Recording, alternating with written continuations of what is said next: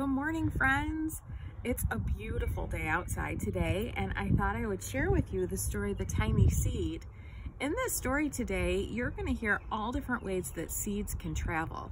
When you listen to the story, you're also going to hear some things that seem like they could really happen, and then there's gonna be other things that seem like, mm, I'm not so, so sure that could really happen.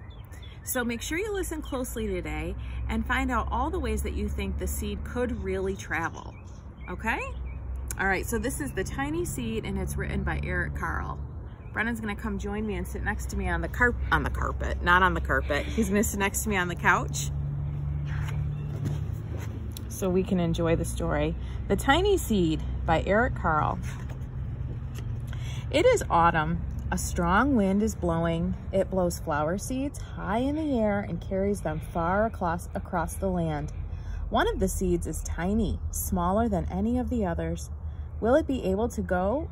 I'm sorry, will it be able to keep up with the others? And where are they going? Those seeds do look gigantic, don't they? But there's the tiny seed. One of the seeds flies higher than the others. Up, up it goes. It flies too high and the sun's hot rays burn it up, but the tiny seed sails on with the others. I wonder, do you really think a seed could get that close to the sun? But there's the tiny seed, still flying on. Another seed lands on a tall and icy mountain. The ice never melts and the seed cannot grow. The rest of the seeds fly on, but the tiny seed does not go as fast as the others. I also wonder if the seed could really travel that far. Now they fly over the ocean. One seed falls into the water and drowns. The others sail on with the wind, but the tiny seed does not go as high as the others. There it is. And that seed, I think, is the one that ends up drowning. We know that seeds need water, but I think that might be too much water. One seed drifts down onto the desert. It is hot and dry, and the seed cannot grow. Now the tiny seed is flying very low, but the wind pushes it on with the others.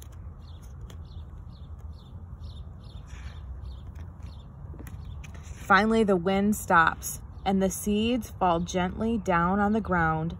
A bird comes by and eats one seed. The tiny seed is not eaten. It is so small that the bird does not see it. Oh, it's like it's hiding. I think it's down there. That one looks really small.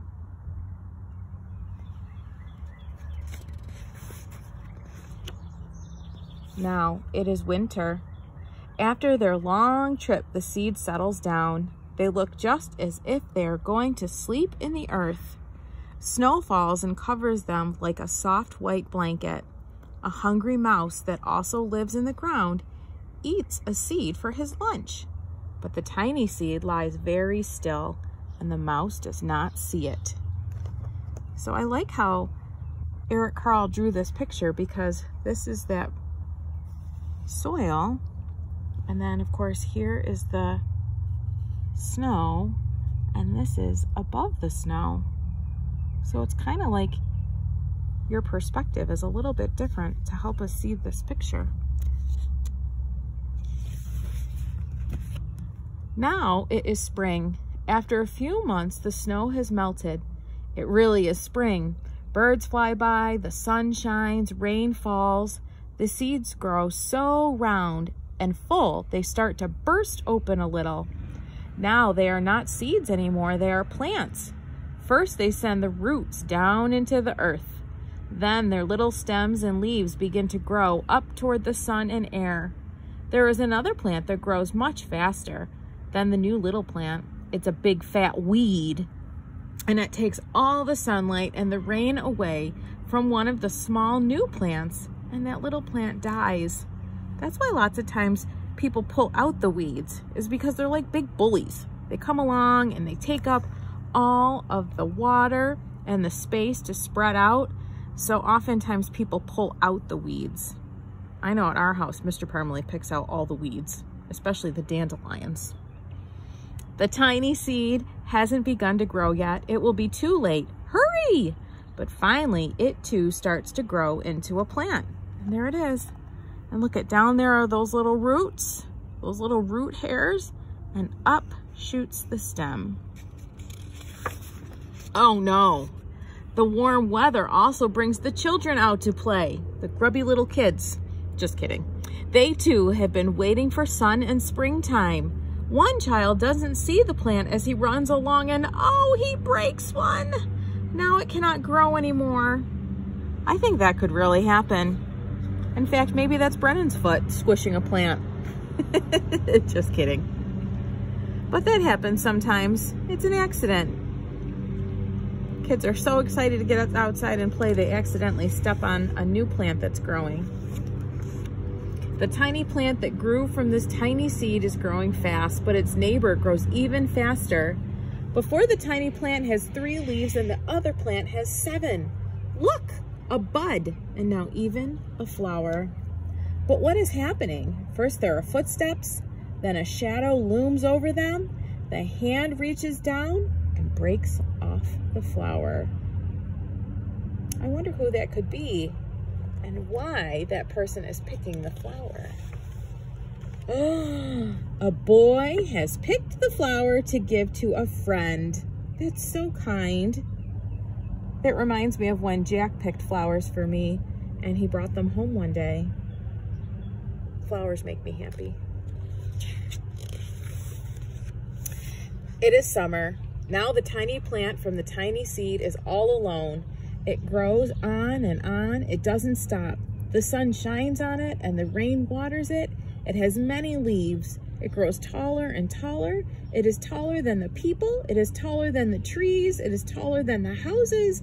And now a flower grows on it. People come from far and near to look at this flower. It is the tallest flower they have ever seen. It is a giant flower. Do you think that could really happen?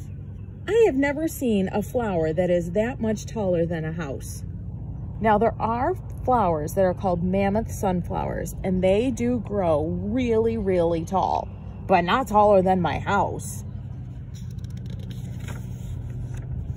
I think Eric Carle embellished a little bit. All summer long, the birds and bees and butterflies come visiting they have never seen such a big and beautiful flower. And look at all those insects and the beautiful birds that are coming along because they're the pollinators. They're the one that's gonna take that pollen to the next plant so we can have new seeds. Now it is autumn again. The days grow shorter, the nights grow cooler, and the wind carries yellow and red leaves past the flower. Some petals drop from the giant flower and they sail along with the bright leaves over the land and down to the ground.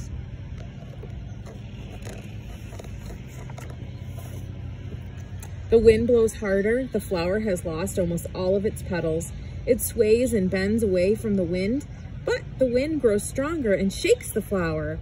Once more, the wind shakes the flower, and this time the flower's seed pods open. Out come many tiny seeds that quickly sail far away on the wind. This looks like the beginning of the story, doesn't it?